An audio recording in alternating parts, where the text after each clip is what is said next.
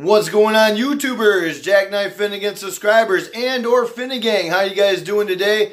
Uh, yes, it is another cooking tutorial. Hopefully you guys enjoy it. It's going to be good. We're going to be using the air fryer for our main ingredient, which I'll show you that in a minute.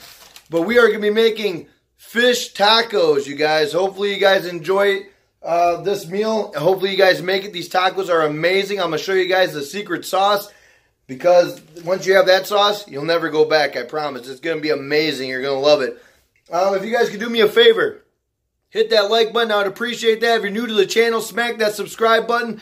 If you got any comments down below or you decide to make this meal, let me know in the comments down below. I will truly appreciate that. Now, with that being said, I'm going to show you the weapons of choice that we're going to use today. All right, you guys, these are going to be the items that we are going to use to make fish tacos. You're going to need Hellmann's real mayonnaise, not that Miracle Whip shit. Get Hellmann's real mayonnaise. You're also going to need to get a pound or a pound and a half of cod, depending on how many people you're going to be feeding. Make sure you get a pound or a pound and a half of cod. That is the fish of choice when making fish tacos. You can also use pollock or pollock, and you can also use cod, pollock, and flounder. So here you go. You're going to need classic coleslaw, which is, uh, it gives you your cabbage. So if you don't want to dice up cabbage all day, this is the cheap way of doing it. These are only like 70 cents. I bought two of them. You also want to get fresh pico de gallo. You also need flour tortillas, ricas, family pack. Not that big. They're little, you know, they're little ricas. You know what I mean? You're going to need olive oil. You're also going to need panko breadcrumbs. That's what we're going to use to roll our cod in to give us that, give us that nice crispy texture. You're going to need sour cream. And the other ingredient, you guys, is this.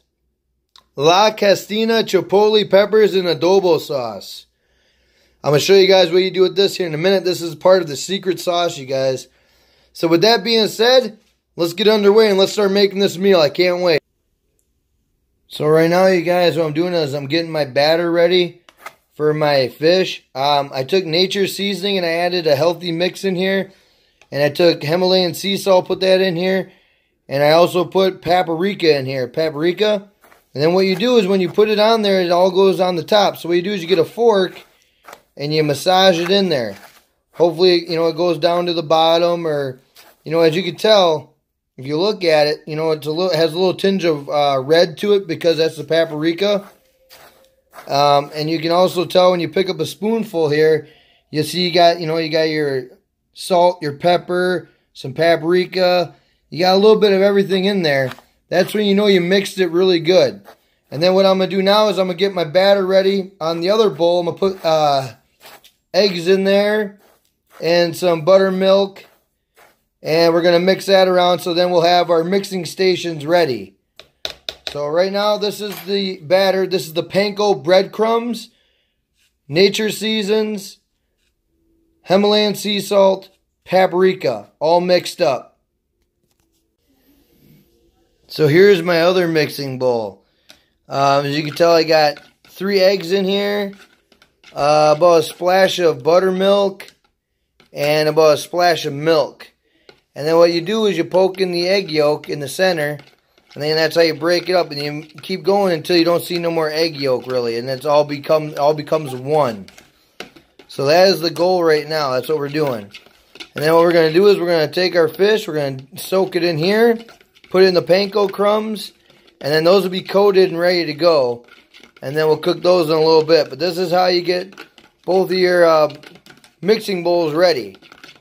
And then we're going to go from there, you guys. So, there you go. That looks a little bit better. I'm going to make it a little bit more fine-tuned. But that is the start of getting your mixing bowls ready. Alright, you guys. Now what we're going to do is we got our mixing stations done. We're going to open it up. We're going to get our cod. Look at this cod, you guys. Oh, my God. Oh, my cod. No, I'm just kidding. That was a terrible joke. Uh, that's what we call a dad joke. So this is nice, good quality cod. I'm going to start cutting it up into little uh, fillets that we can put in. and uh, turn this into essentially like fish sticks type stuff. So then we could crumble it up and put it in our uh, fish tacos. So, you know, what you want to do is you want to cut it like, you know, like so, like that. You know, make it a little, you know, kind of, kind of chunky. Kind of like that. Kind of like that. You know, kind of cut it up a little bit like that. So this one is a little kind of too fat, so I'm going to cut it down the middle. Like that. So then we have like kind of a, a slimmer, like this, see?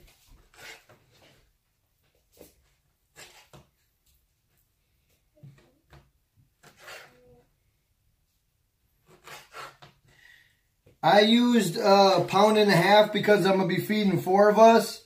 Uh, depending on how many people you have in your family, you might want to you might want to use, you know, a pound. If you got four people like I do, maybe a pound and a half.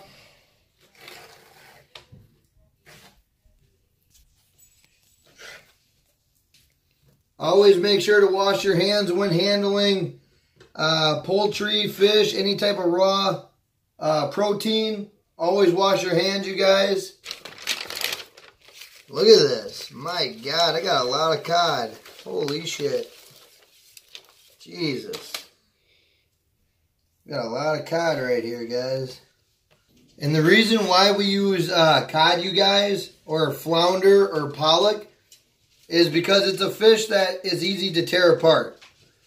That's why you use that. It's easy to tear apart, you guys. See how that is? Easy. All right, you guys, what we're going to do is we're going to dip up our stuff here and we're going to put it into the air fryer. So what we're going to do is we're going to marinate it in the egg, move it around in there. Then we're going to put it in the panko mix and swish that around in there real good. So you want to get a good covering on your panko mix. Now we're going to use this in the air fryer, so we shouldn't be losing a lot of stuff. So there you go, it's covered. Then we're to put it in there. And then so on and so forth. Rinse and repeat. Make sure everything gets covered. Run it around in the panko. Mix it around real good. Put it in there. Until all your fish pieces are gone. So you're want to keep doing this over and over again. Covering it all completely in the panko mix that you made from earlier. And then what we're going to do from here, once we're done doing this, we're going to make the secret sauce. So if you guys do not want to miss the secret sauce, the secret sauce is going to be amazing, you guys. Um, also, you guys, if you don't have panko crumbs, you can actually use flour as well. Uh, some, some people prefer flour. So you can use the same um, seasoning that I use, but just use flour. You know what I mean? If you don't want to use the panko crumbs. So you can substitute that for flour. And it's the same situation, same thing I'm doing.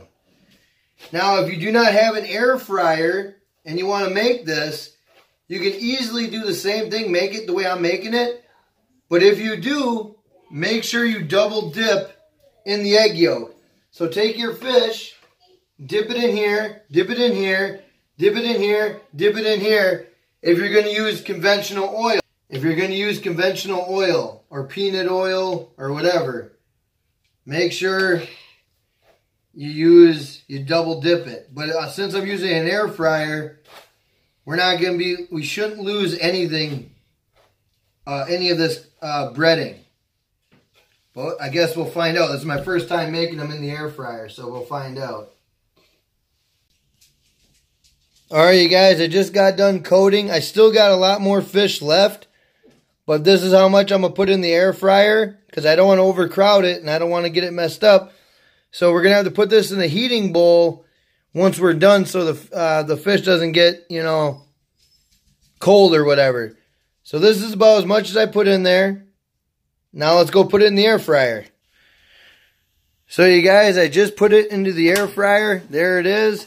It's in the air fryer. Now what we do is we turn on the air fryer. We go to, we see the fish icon. So go, do you see the fish? There's the fish icon right there at 350 degrees. You got to cook them at 12 minutes. Actually, it says flip them at halfway. So what I'm going to do is cook them at 12 minutes. And then when 6 minutes is done, it should start up automatically. So you got the fish icon. It's at 350 degrees. It's going for 12 minutes. So when it hits 6 minutes, you take them out, you flip them, and then you put it back in for the other 6 minutes.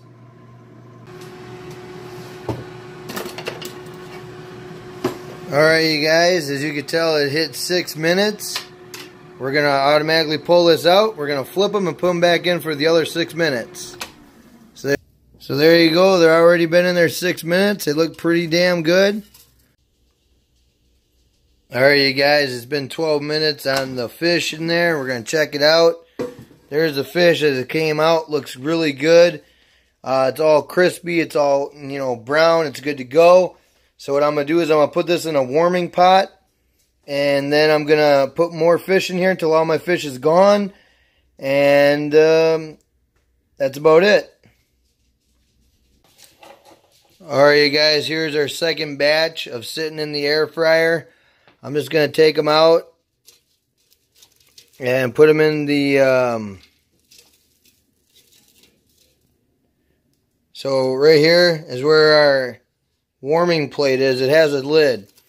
You don't need nothing fancy really for your uh, warming plate. All you just need to make sure it has is a lid. So mine is a nice um, glass. Notice how it's all, you know, you, you kind of want it for fish tacos to break apart. Now, if you were making this into like fish sticks, you wouldn't want to break it breaking apart, but it holds pretty damn solid. It's pretty good. One thing I do like about the air fryer, though, is nothing sticks to it. It literally all comes up.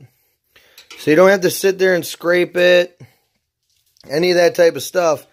It all comes up. Like, look at this little piece right here. See how it all just freely moves around? And then you got this one right here.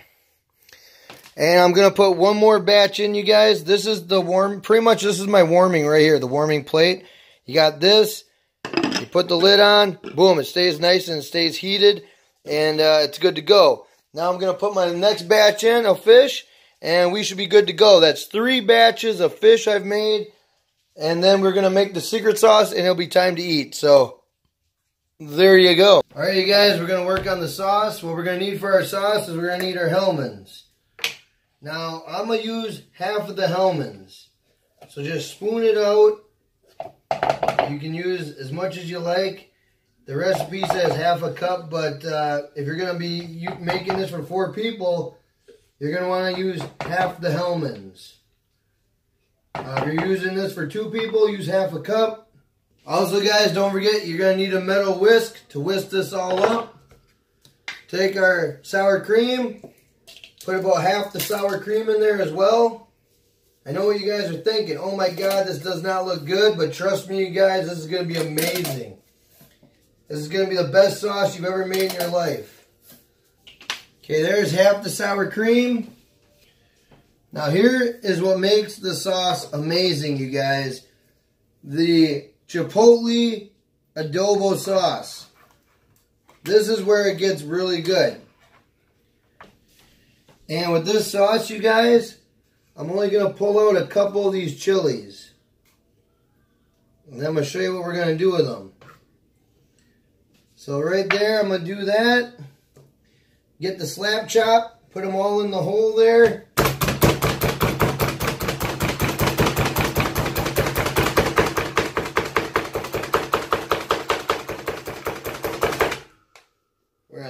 Chop them to a fine grade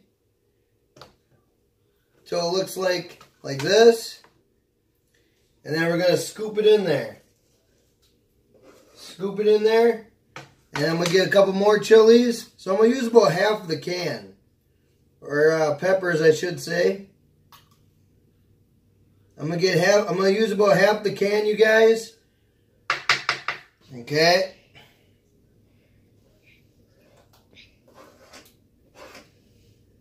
And then also, you guys, you get um, a lime. So all you do is you cut your lime in half and you squeeze the juice out. You get all that lime goodness. So you squeeze it all out.